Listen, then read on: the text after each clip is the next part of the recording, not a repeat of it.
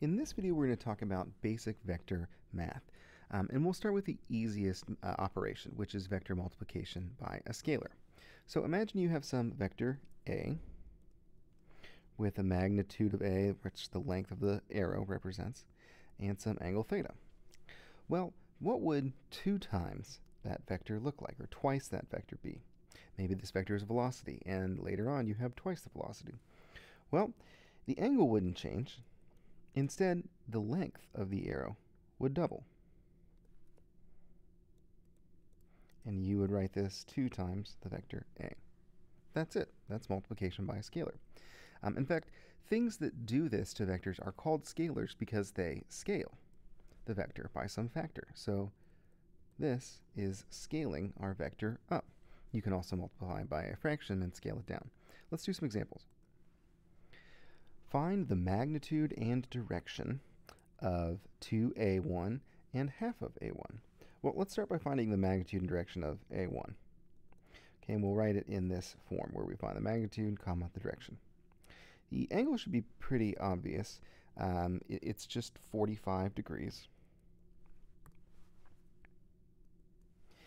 Um, but the magnitude, it looks like we've got um, an x component of 2 and a y component of 2. So the magnitude of a1 would be the square root of 2 squared plus 2 squared. So the square root of uh, 8, which is mm, 2.82, we'll just say 2.8. Okay, so that's the magnitude of the vector. Um, 2 times a1 would simply just be this vector with the same angle. So 45 degrees would be the same, only it would be twice as long, meaning it would go here. So now I have x components of 4 and 4. Uh, so the magnitude, here I'll do that down here, the magnitude of 2a1 is the square root of 4 times 4, which is um, the square root of 32, or we'll say 5.6. And you might notice, oh, well, that's just 2 times 2.8. So we don't even really have to do that process to figure out the magnitude. We can just scale that magnitude, multiply it by 2. So half of A1, if I get rid of all of this stuff, half of A1 would only go here. That would be 1 half A1. And in that case, I would have a magnitude of half of 2.8, uh, which is 1.4, and this was an x component of 1 and y component of 1, so if we did do the math, would be the square root of 1 squared plus 1 squared, which is just the square root of 2. Sorry, 2, which is half of the square root of 8. So 1.4 and 45 degrees magnitude. Okay, so again, the angle is the same. The only thing that changes is the magnitude of the vector. From uh, 2.8, we multiplied it by 2, so it's 5.6 and when we halved it, it was 1.4. So now let's talk about vector addition. Vector addition is, is really easy once you get the hang of it. Um, and there are a few various ways to add vectors together. The two most common um, are known as head to tail and the parallelogram method. So let's talk about the head to tail. Both work fine. So the head to tail method is when you have two vectors. So let's say you have A and you would like to add b, then the vector a plus b is uh, going to come from adding these two vectors head to tail. So here's what it looks like. We start here. We've got a. So that's a.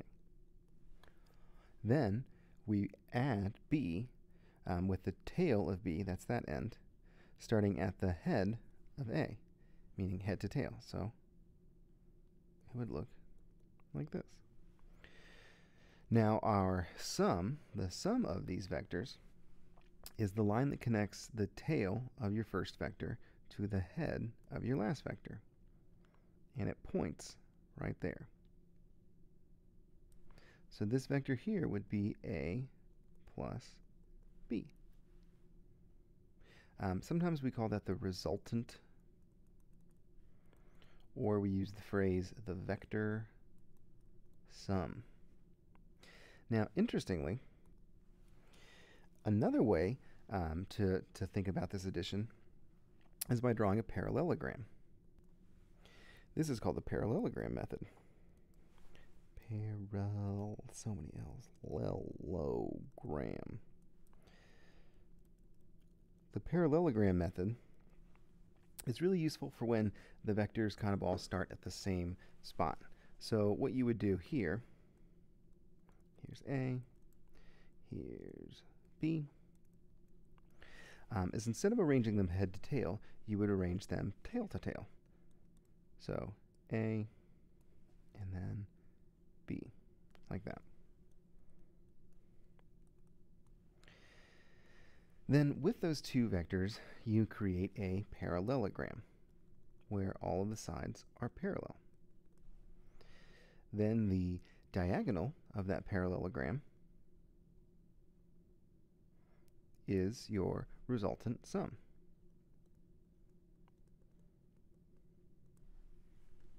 Now you notice that we would get this exact same shape if we just did the head to tail method again, but starting with B. So if I drew B here, that's B, and then A um, with its tail at B's head, then I would make a parallelogram. So either of these are fine graphical ways for adding two vectors together. And it emphasizes the, um, the fact that if you're going to add them head to tail, it actually doesn't matter which order you start uh, because you can do b plus a or a plus b. Um, you'll get to the same spot. Let's do an example. Find the magnitude and direction of a1 plus a2. So since this is nicely drawn on a graph for me, um, I'm just going to go ahead and do the head to tail method. I can take A2 and I can draw it with the tail starting at the head of A1. So that would look like this.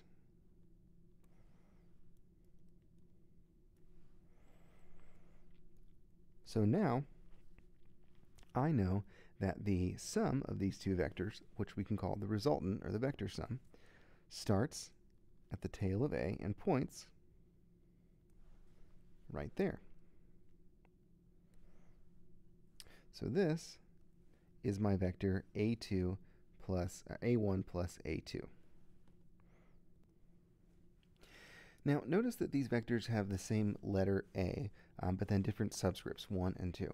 This is common for things like velocities and forces, where you use v for all velocities and a subscript to, you know, talk about which velocity is which. The same for force. Whenever you label vectors like this, they all have the same letter. Um, it's it's kind of messy to write a1 plus a2. So a little math notation that we'll start using um, is we'll use a math letter that means sum. And that is the letter sigma. This is the Greek letter sigma, and it means sum. So we'll call our new vector, which is the resultant or the sum, sigma a. And it will be a1 plus a2. So I'll call this vector sigma a. That's how I'll label it. Um, and when I write about it, that's how I'll write the magnitude and direction.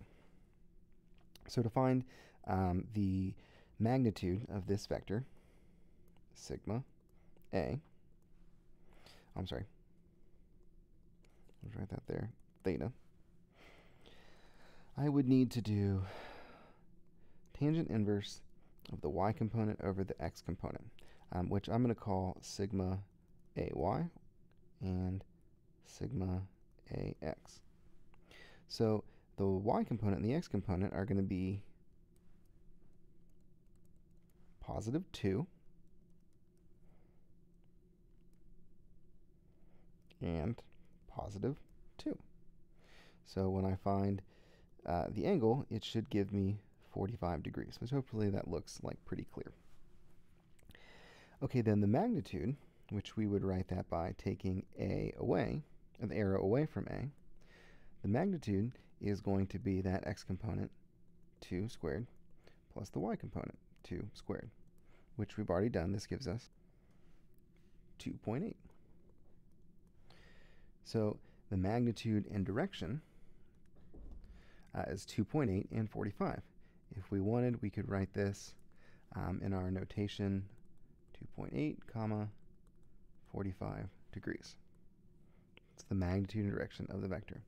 And if I get rid of some of this extra stuff on the graph, it might be helpful for me to remember this is the same place, the same result that I would get to if I first started with a 2 and then added a1 head to tail. And again, notice that my resultant, this sigma a, that it is the diagonal of a parallelogram that's created with these two vectors. So now let's talk about vector subtraction, which is sort of an application of both um, multiplication by a scalar and then addition. The idea is really simple. If I have two vectors, a and b, so I'll say minus b,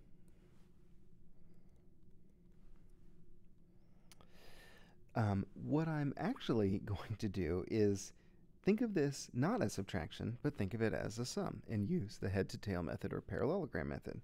Only now I'm going to have to change b. And instead of writing a minus b, I'm going to write a plus negative b. Now, we already talked about what it is that a scalar does. Negative would be a scalar, right? So this is almost like saying negative 1 times b. So all that that's going to do is take our vector b and flip it, which would look like this. Okay, so now I can add these, um, which would give me, here's A, and then B, instead of going to the right, goes to the left. And I would find the resultant sum um, by starting from the tail of A and drawing to the head of B. This would be my vector A minus B, or A plus negative B. In this example, we're going to find the magnitude of A1 minus A2. So now, instead of um, taking 2 a2 and adding it head to tail, we're going to take the opposite. And A2 would point here. So that's negative A2. And my resultant starts here at the tail of A1 and points to the tail of A2. Now because we are adding these together, we can still call it a sum.